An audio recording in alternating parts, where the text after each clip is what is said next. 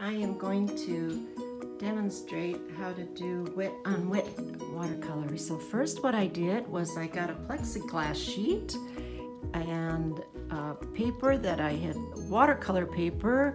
I soaked it completely and then I got it on there.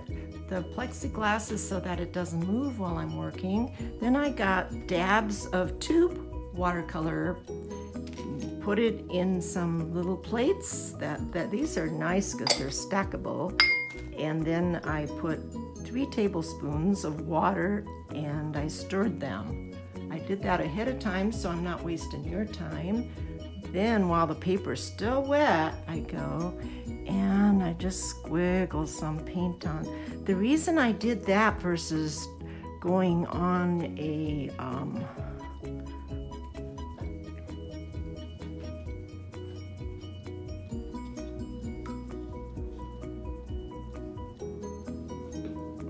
from the dry pad is I can control the deepness of the color. Sometimes a little bit of the other color dabs through, that's okay. We're gonna be mixing them anyway. And this is going, and I can tilt this to make the colors blend into rainbow.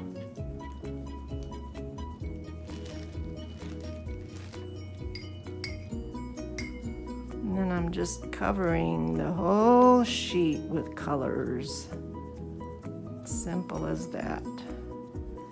And I am letting the paper and the water, because it is watercolor, blend the colors.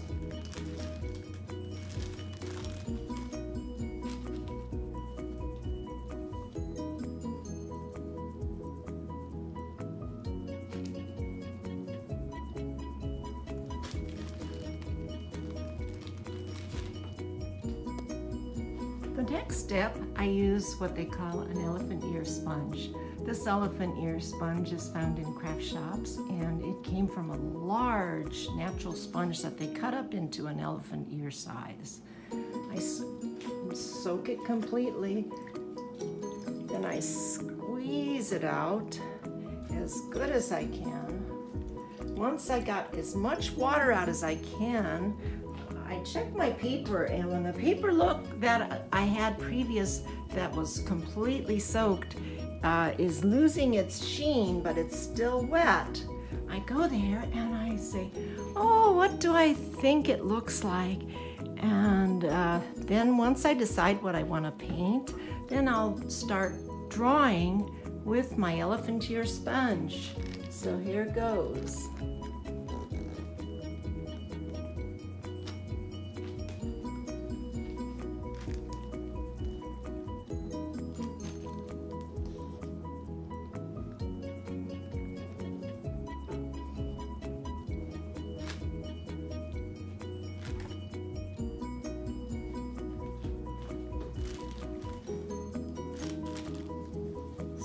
I right now I am continuing with just doing unifying the picture and see how much fun it is. I'm letting the bristles of the brush separate so that I can get the fur of the kitty cat. See that? There we go.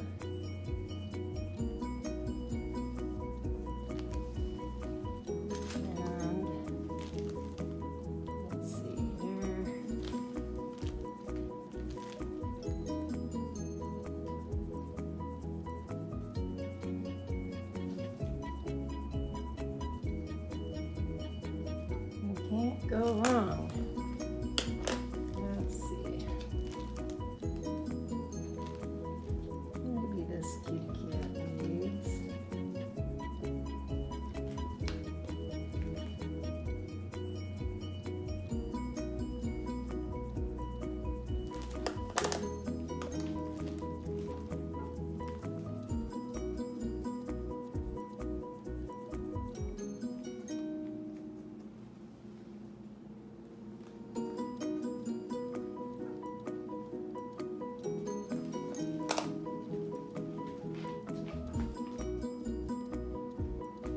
Can use the rigger brush and where it needs some spots, I can do some spotting. And don't get too carried away because if you do, it looks kind of strange. There we go.